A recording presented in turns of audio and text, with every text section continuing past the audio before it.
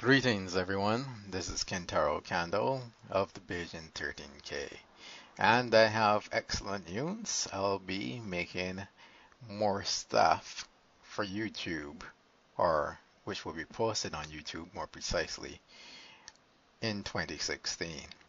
And some of them may just be these type of things which are more like podcasts because what I'm doing now is I'm just recording the audio. I'm just going to slap a video on it and put it up but um, most of them should actually be gameplay. So that would be a, a, lot more interesting.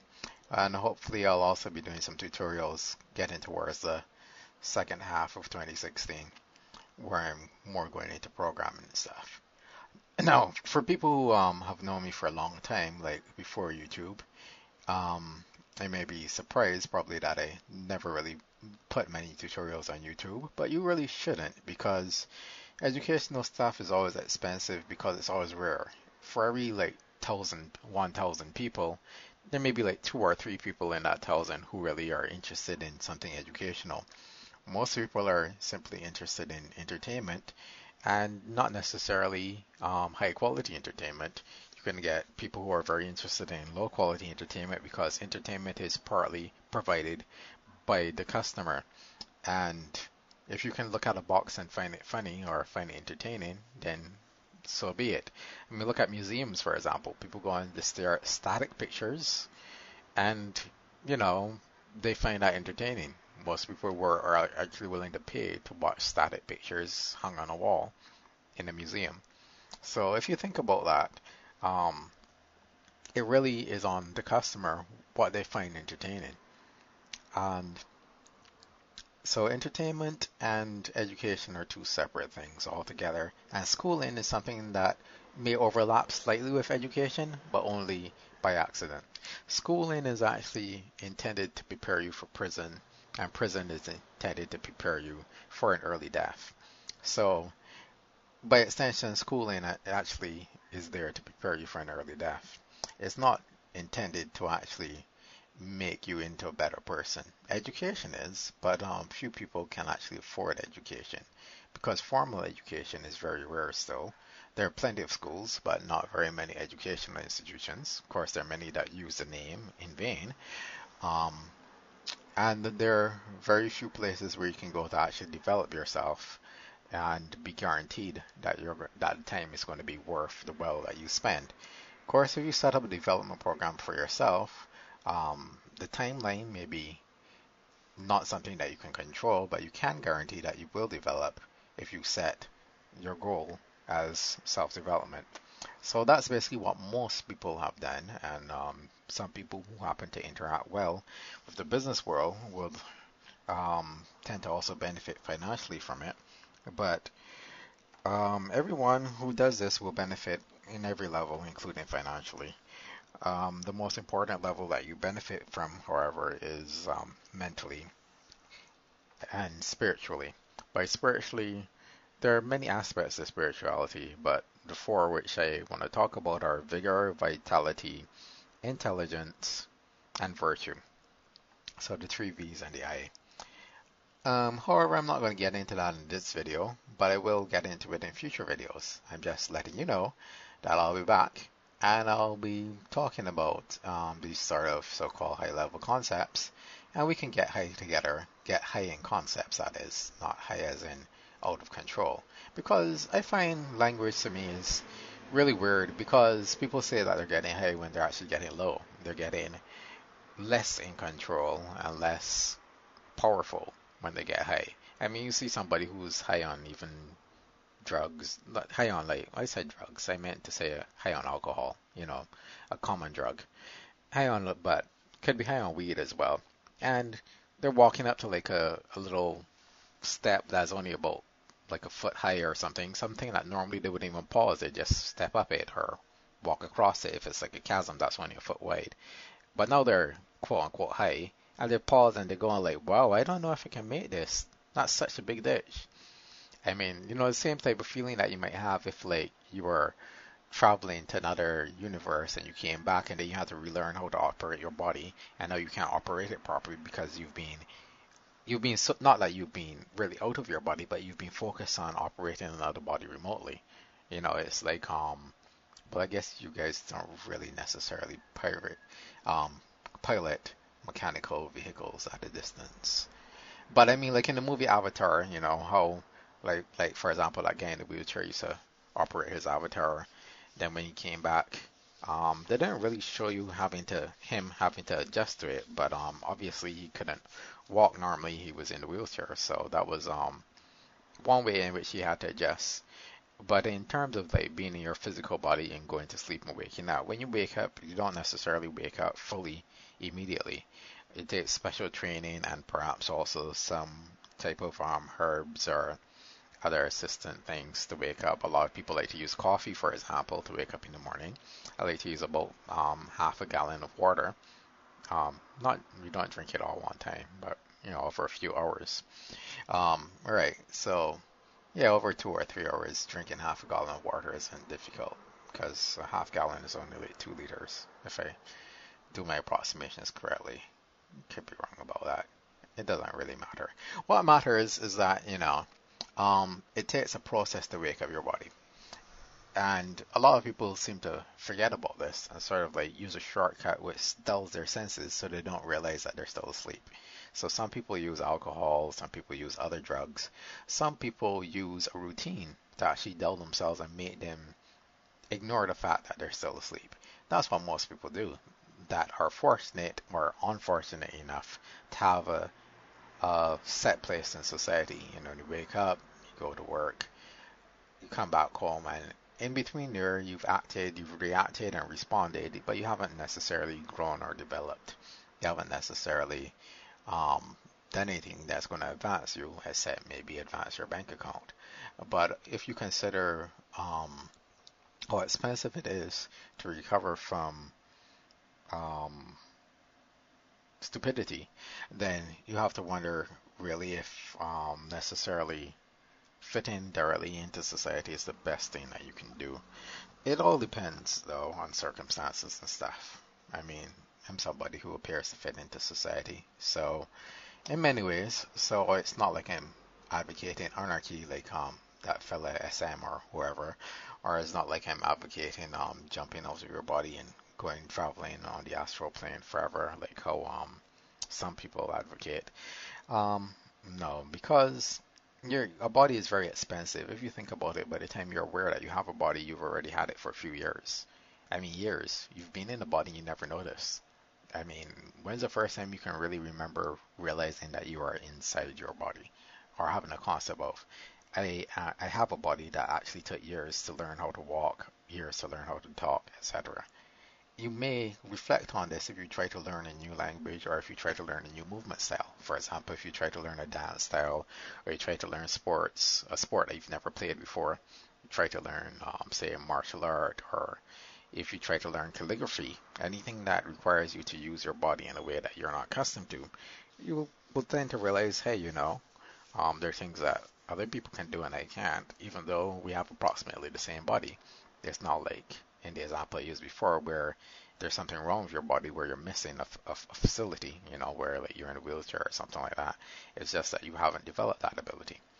So, I mean, obviously, yes, there may be people listening to this who are in a wheelchair. So, I'm just, I'm not trying to make you feel bad or anything. I'm just saying that even if you have the same facilities as somebody else, that doesn't mean you have the same ability because you have to learn it. And but you actually have to relearn using your body every day. Um, with training and so on, you can reduce this time. And if you're limiting your range of motion, you don't even notice it that your range of motion is limited or that you're not fully awake. And you can go through not just days, you can go through years without being fully awake, without ever, for example, trying to learn something that you never learned before whether it be physically moving or whether it be intellectually, for example, learning a new language, learning a different style of writing, um, learning some topic which you were never exposed to during your time of schooling or non-schooling or whatnot. Fortunately, there are a lot of ways to do this, which only require you to take initiative and take time. And in this area of underemployment and unemployment, it's even easier because you have quote unquote free time. In other words, you have time that is not contracted out. So you can use some of that time to use facilities such as public libraries and so on in order to learn new things. You can even use these um, structured semi-schooling courses in online in order to learn things. Um, so I'm going to share some of what I've learned, but I'm really, again, doing this as a hobby rather than as a profession. So, um, even though I may do like for sale videos and put them on other platforms, they may be Vimeo, um, I'm not going to try to make money off of my YouTube channel. I'm just going to be doing it as a hobby.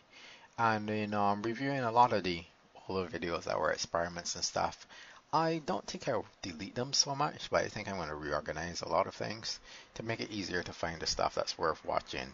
And um, stuff that isn't worth watching, I'm still going to leave there. It's because um, it may not be worth watching for me, but um, sometimes it's good to remember that not all experiments are successful. Some of them teach you things by not being successful. I was watching one of them recently and I didn't realize how horrible it was. So obviously I was um really stressed out and didn't preview it before I uploaded it and whatnot. And I think that's been generally a theme for me that I really wanted to do things, but I was um, putting too much pressure on myself. But I was also under a lot of pressure which I couldn't change at the time. But you know, over time you keep chipping away at these mountains, and eventually your trickle of water, you know, breaks a path for you. Um, however, it would have been better if the mountains were not there in the first place. I'm not somebody who believes that there is a value to suffering. Um, the only thing that suffering tells you is that the world is unfair and that it needs to be improved upon. So, not so much that something is wrong with the world, but more that the world is open to improvement. Because being wrong suggests that there's an ideal world.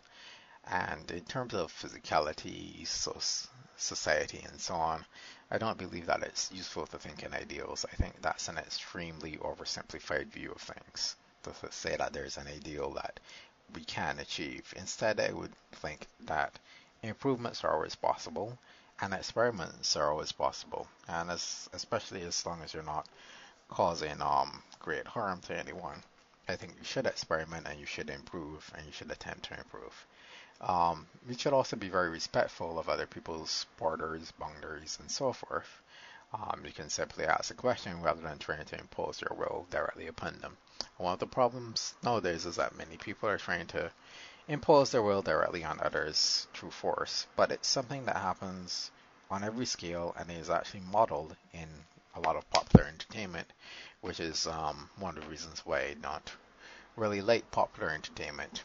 Um, one of the reasons why I got into anime, which wherein people tend to be a lot more respectful of each other. And even when people trespass on each other's property, they're very aware of what they're doing and they're, you know, aware that they're risking their life doing it. On the other hand, in the Western world, in um, Hollywood productions, um, it seems to be always a might makes right type of thing. There are really no good guys in Hollywood action movies. They're only bad guys and badder guys. And um, I don't like that. I think that um, the ability to actually converse and come to agreements and negotiate terms is very important. And that may not be something that's explicit in a lot of entertainment things. Um, I guess the closest one might have been things like The Apprentice and so on, where people are pitching products or whatever. Um, but it's something that's very vital in life. And I think that right now we're creating a society where people are totally incapable of having conversations where they negotiate anything. You want to get people who can basically shout at each other and um, try to or manipulate each other, but actually having a conversation, actually sitting across a table, having a negotiation, hammering out an agreement, and then living by that agreement. That seems to be something that is only practiced by the elites and elites are not necessarily people with money, they're people with education. So, but they obviously would become people with, with money because a fool and his gold are quickly parted. But even people who are wise and have money don't necessarily retain it because, you know, somebody with something like a unfair economic system can take it away or something like that. So money is not a good indicator of education or intelligence or capability it's also a transient measure in terms of fiscal money. Um, time control is a better indicator of education. And one way of looking at time control is when people promise things, whether they give them or not. So that's one of the reasons why you know people tend to dislike politicians because politicians tend to promise but may not always tend to give. But it all always depends on the politician and it depends on the system and so forth. So now, um, having said all of that, I've basically ranted on for quite some time, but I'll be doing much more of this in the future. And like I said, YouTube isn't really suited to podcasts, and I don't necessarily want to bore you by rambling on randomly about different things. So I'm actually going to plan out topics and edit things down and make them a lot shorter and more planned out than this particular thing that I'm doing here. Um, I just wanted to do this quickly because the year is coming to an end. I want to know what you can prepare for in 2016. And I'll be starting from hopefully the second week of February. There may be a few things before then, but um, the real syllabus, so to speak, our series of um, audio essays will start in the second week of February. And um, besides that, the gameplay things will just be as I can do them. Because right now I'm not getting any time to play games at all, except for a little bit of Disgaea 2. I finally um, started to understand the charm of the item world and I'm using charm in brackets because the item world is just like grinding. So it's um, it definitely kills time, but you know I don't have time to kill. So um, but what I've been doing is I've just been using it to sort of explore the Disgaea 2 engine because I have because I haven't been playing anything in a while. It's helping me to like sort of refresh myself and get accustomed to their way of doing things um, again, and also to look at you know well, other issues.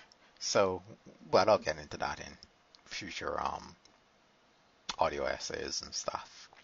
Um, all I can really promise is the audio essays for now. Therefore, I can't really promise video gameplay.